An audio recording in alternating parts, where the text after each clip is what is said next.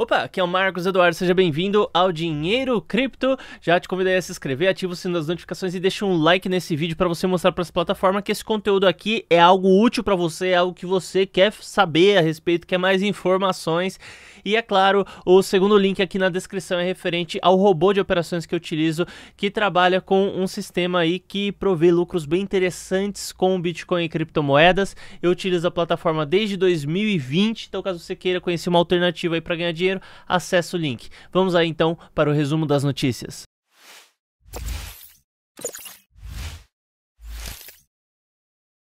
O que eu vou te mostrar agora é algo meio macabro, até mesmo meio cruel.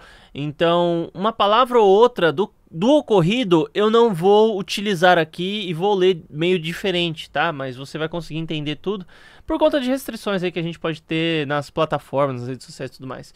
Então, influencer de criptomoedas tem a vida retirada.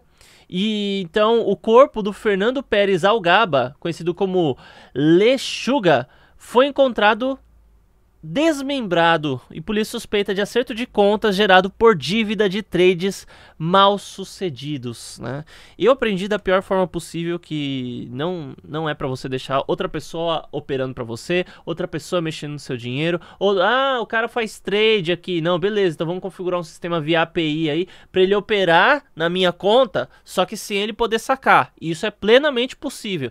Tanto é que o robô de operações que eu divulgo é, aqui no canal, ele também trabalha via API e não tem acesso a saque, tá? Então, é assim, ele opera na sua própria conta da corretora. Não é, ó, dá o dinheiro aqui na minha mão que a gente opera, a gente faz uma coisa milagrosa aqui e te rende uma porcentagem. Não é assim que funciona.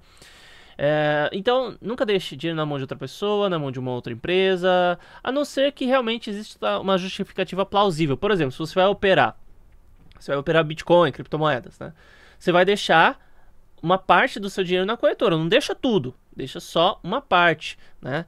Aquilo que você vai utilizar no período de um dia, de um dia para o outro, no máximo de uma semana, enfim, mas você não vai deixar sua banca toda, você não opera com a sua banca toda. Isso seria inclusive um péssimo gerenciamento de risco que eu ensino no meu treinamento, né? É, enfim. E bom, e o que acontece é que tem muita gente que vai falar ainda, não, mas o certo é nem usar corretora centralizada, é você usar corretora descentralizada. Só que o problema de corretora descentralizada, né, é que justamente você tem taxas de trade muito alto que às vezes inviabiliza a sua negociação. Então, você vai fazer o quê? Pô, você está buscando um trade aí, às vezes para fazer 1%, só que a taxa da corretora já, já come o seu trade todo. Tem, tem, tem inclusive corretora descentralizada que cobra mais que 1% né? Dependendo da conversão, dependendo do que você for fazer. Então, inviabiliza totalmente. Mas voltando ao caso, né? Realmente foi algo bem macabro isso daqui, né? Esse negócio de tirar a vida já é um negócio muito sério, né, gente? Mas fazer o desmembramento é uma mensagem muito forte e é necessário uma crueldade no coração. Não importa o que o cara fez, né? Tirar a vida, não, não que eu ache certo, mas eu consigo entender a motivação, às vezes, de, de uma pessoa que faz isso, dependendo do, do, do, que ela sofreu por essa pessoa, né? Uh, mas o desmembramento é uma coisa de uma crueldade realmente absurda. Binance retira pedido de licença cripto na Alemanha e muita gente ficou aí assustado com essa situação. Isso porque, basicamente, se a Binance está retirando o pedido, muita gente acredita que na verdade ela tenha sido rejeitada e ela viu que a situação está praticamente impossível de ser tocada. Em relato, a Binance afirmou.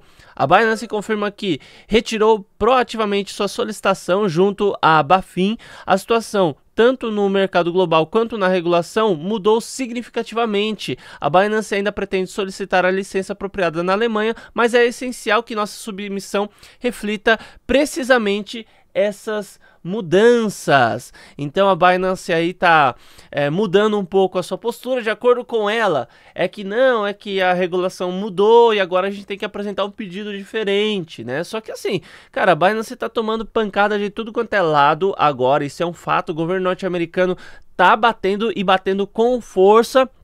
Não tá ganhando em tudo, mas ele tá conseguindo fazer a, a, a Binance sofrer, e sofreu até que bastante, tá? A Binance norte-americana, a Binance internacional tá rodando normal, tá funcionando normalmente no resto do mundo, só que o terreno norte-americano é muito importante para qualquer corretora é, do mundo, porque é a maior economia mundial. Então, com isso, a gente vê que não só a Binance, assim como várias outras corretoras estão tendo dificuldades. Mas por que, que as corretoras estão sendo atacadas? Não é por causa da corretora em si, entenda isso. É porque o mercado norte-americano ele está perdendo espaço. É, está acontecendo um grande reset financeiro mundial. Outra economia vai emergir e as criptomoedas fazem parte de tudo isso. Então, o que acontece é a gente está lutando como pode aí contra a China, contra algumas, alguns outros aspectos. E a gente está tentando lutar também contra as criptomoedas, né? Tentando é, atrasar o avanço. Eles sabem que eles não vão conseguir parar as criptomoedas, acabar com as criptomoedas. Essa é a vontade original. Proibir. Iria cair a máscara da democracia. Então, a ideia é você tentar atrasar o máximo possível o avanço das criptos.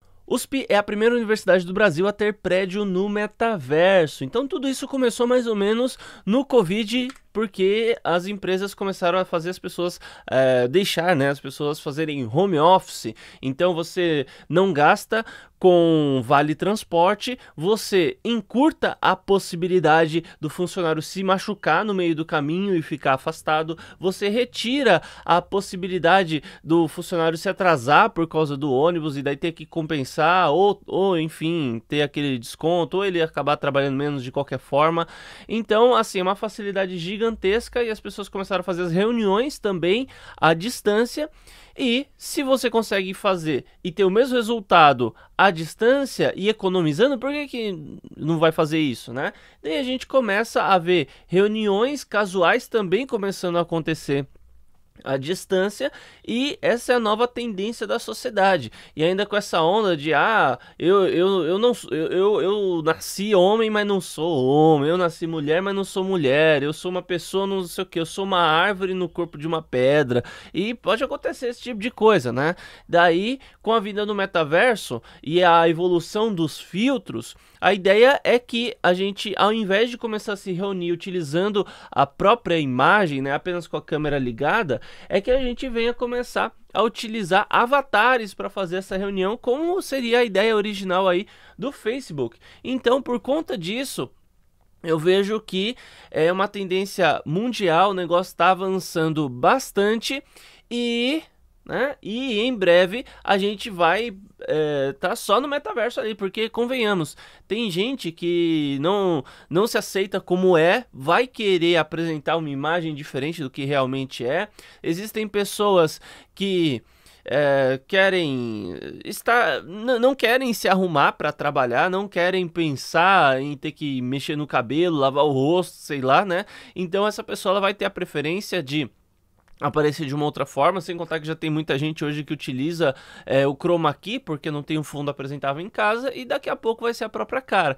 Então, o metaverso é uma coisa extremamente plausível. E é claro que, junto com a vinda do metaverso, várias doenças aí também vão começar a aparecer, né? Pessoas assim viciadas em metaverso, pessoas que vão preferir muitas vezes mais o metaverso do que a vida real, porque a vida real para essa pessoa é uma coisa muito chata, é uma coisa muito monótona, né? E quanto as possibilidades dentro do metaverso são infindas. Lá todo mundo é lindo e maravilhoso, e essa é a nova tendência mundial. Todas as empresas, em breve, todas as pessoas vão utilizar em algum nível e grau o metaverso e algumas vão preferir passar mais tempo em dentro do metaverso do que interagindo com a vida real e com pessoas reais. Mas e aí, diante de tudo isso, diante de todas essas informações, é hora de comprar Bitcoin? É hora de vender? O que, que a gente faz? Pois bem, eu desenvolvi um treinamento te auxiliando exatamente a identificar as melhores oportunidades do mercado